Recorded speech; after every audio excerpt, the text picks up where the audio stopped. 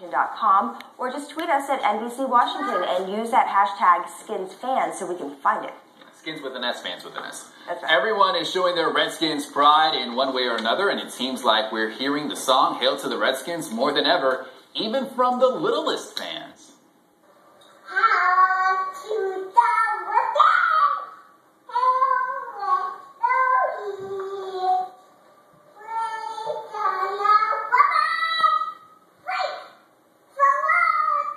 Is two-year-old Levi from Gaithersburg. His dad sent us this video.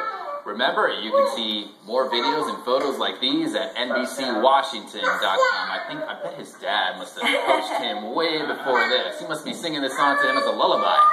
You know, some fans are so hardcore they teach that song before they teach the ABC. exactly. Might be what happened. That's going to um, do it for News for today. Thanks so much for joining us this morning. And of course, we're going to be back here starting dark and early tomorrow.